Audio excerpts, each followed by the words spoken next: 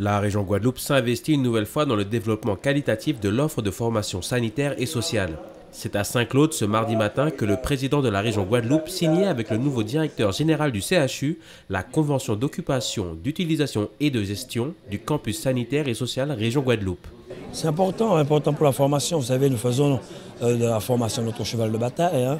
Nous l'avons démontré avec Guadeloupe Formation, avec l'école de la deuxième chance, la fusion, avec le CTIG. Aujourd'hui, c'est sur ce campus, sur cette cité de la connaissance. Donc c'est une fierté pour nous aujourd'hui et nous mettrons tout en œuvre pour pouvoir réussir et avoir des résultats euh, d'ici un an, euh, ici même sur ce site. C'est ma première sortie officielle et elle est consacrée à la formation des professionnels de santé.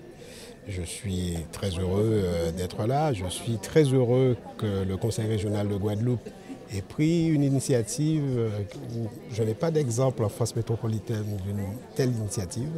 Euh, le choix pour la région d'investir dans la formation est un choix stratégique. la responsabilité de la région est sur le plan de fonctionnement des institutions de formation. Là, c'est de l'investissement dont on parle et c'est investir pour l'avenir. À travers une convention de 12 ans avec le CHU, la région Guadeloupe entend contribuer à former dans de meilleures conditions des professionnels compétents et répondre aux besoins grandissants des Guadeloupéens. Oui, euh, je pense que nous l'avons déjà démontré avec euh, l'ouverture euh, du centre du Moulin, qui était construit depuis des années et qui n'est pas fini. Aujourd'hui, nous avons retrouvé la même situation à Saint-Claude. Donc nous avons dû finir les travaux, nous avons dû aménager aujourd'hui, symboliquement, mettre les clés au, nouveau directeur du CHU, que je félicite, que nous espérions et que nous soutiendrons de manière à réussir sa mission. Et sa mission devient encore plus grande parce que nous, lui, donnons encore d'autres travail parce que faire fonctionner euh, ce campus, ce sera atteindre une réussite après un an de formation pour les, quatre filières qui sont ici.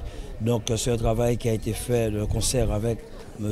Théophile qui est délégué à la santé, Mme Lénon sur la formation. Aujourd'hui, nous sommes vraiment très satisfaits d'avoir la présence du directeur, du directeur de, la, du, de la directive de l'ARS, mais aussi du maire de Saint-Claude. Donc ce sera euh, vraiment une fierté pour nous car rééquilibrer le territoire, c'était notre slogan. Ce que je disais tout à l'heure dans mon discours, c'est que je suis très heureux que ce campus puisse garantir une qualité de vie en formation pour les professionnels, euh, pour les futurs professionnels, pour les étudiants qui sont euh, en formation sanitaire et sociale. Je veillerai personnellement en tant que directeur général du CHU à ce que nous ayons les, mêmes conditions d'accueil et euh, d'études pour les étudiants qui, seront, qui resteront sur le point d'appui.